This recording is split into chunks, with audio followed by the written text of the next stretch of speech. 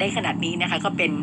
อะไรที่ดีนะคะ ส่วนใครที่อยากฟังต้าอู่ออฟโรดได้รักไม่รู้ภาษานะคะ จากซีรีส์รักไม่รู้ภาษาได้ เดี๋ยวก็จัดไปนะรักไม่รู้ภาษาเดี๋ยวนะคะคอยสักครู่ตั้งเอาไว้ให้แล้วนะคะ สักครู่หนึ่งนะคะตอนนี้ทยอยทยอยเปิดแต่ว่าต้องบอกไว้ก่อนว่าเมื่อกี้เราคุยกันหลังใหม่ถ้าคุณผู้ฟังติดตามข่าว อันนี้เราไม่อยากจะเรียกว่าข่าวการเมืองอืมมันเรียกว่าข่าวปากท้องอืมได้ไหม ได้นะถ้าคุณผู้ฟังจะได้ยินนะนะคะ บางคนอาจจะบอกว่าไม่เป็นเป็นไรเลย วันนี้คุณอาจจะยังไม่มีวันที่คิดว่าจะต้องใช้ เรากำลังพูดถึงเบี้ยยังชีพผู้สูงอายุครับ ถ้าเห็นนะคะ ตั้งแต่เมื่อวานเป็นราชกิจจาแล้วถูกไหมพี่กวางใช่ครับ ว่าด้วยการจ่ายเงินเบี้ยยังชีพผู้สูงอายุฉบับใหม่อืมฮึที่จ่ายให้เฉพาะคนจน โดยระบุว่า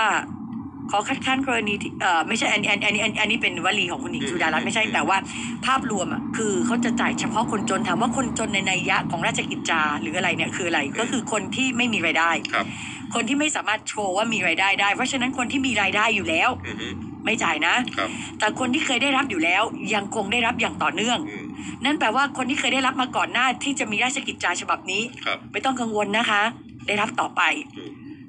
แต่คนที่กำลังจะได้รับอะ ถ้าคุณสามารถดีแคลร์ว่าคุณมีเงินเงินรายรับรายได้อยู่บ้าง คุณจะไม่ได้รับมันถูกปะถูกครับ แล้วถึงวันที่เป็นเราต้องทำไงวะเพราะว่าถ้าถามเขาก็จะบอกบอกว่ามีข่าวว่าขอให้เข้าใจด้วย ขอให้คนที่มีฐานะเข้าใจด้วยอืมเพราะว่าหลายคนมีฐานะก็ไม่ได้อยากเข้าใจ แต่เพราะเขาไม่ได้คิดว่าเขาไปเอาเปรียบ หรือเอารัดเอาเปรียบสังคมนะมันเป็นสิทธิ์ของเขา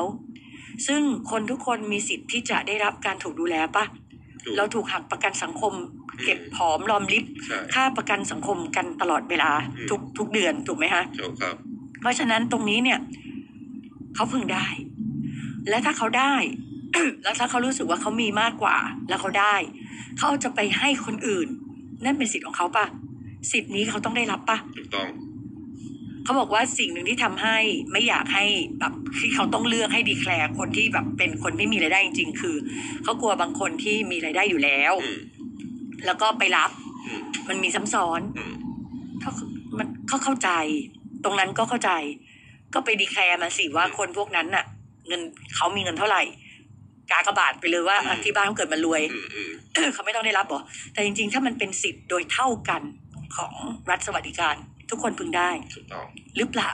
ได้ก่อนแล้วเขาจะสละสิทธิ์นั่นเรื่องของเขาใช่ป่ะอืมเหมือนตอนนั้นอีกอะไอ้ที่ไอ้เงินอะไรที่รับแบบบัตรคนบัตรคนจนบางคนไม่จนจริง อันนั้นก็มี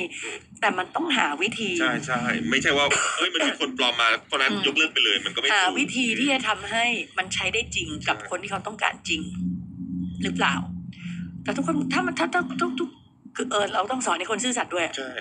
เราก็ต้องสอนให้คนซื่อสัตย์อืมคนบางคนไปรับบัตรคนจนแต่เขาไม่จนนะอืมก็จริอันงนั้นก็อันนั้นก็โหด อืม เพราะว่าบัตรคนจนเขาก็จะมี แต่ว่าอันนี้มันไม่ใช่ว่าสวัสดิการผู้สูงอายุ ชื่อมันบอกว่าผู้สูงอายุ อืมอืม ยังจะต้องเป็นผู้สูงอายุที่จนเหรออืม มันควรจะเป็นผู้สูงอายุทุกเพศทุกวัยปะทุกทุกทุกทุกคนปะอืมอะเป็นกวงกวงอยากได้ไหมสมมุติว่าเราไม่ได้มีรายได้ อืม แต่มันมันโชว์ว่าเรายังมีดอกเบี้ยนู่นนี่นั่นมันอืมมันก็ต้องได้ปะอันยังอยากได้ สมมุติอะมันเป็นสิทธิ์ที่เราพึงได้นะอืมทำงานสะสมมาขนาดนี้อืมพี่จะไม่ให้ใช้เลยนะหกร้อยไม่ได้เยอะ ไม่ได้เยอะใช่ลดของบางอย่างลงอืมและคงตรงนี้ไว้ใช่คนจะยินดี บางตำแหน่งเงินเดือนสูงสูง EFM DJ playlist by ดีเจอ้อมค่ะ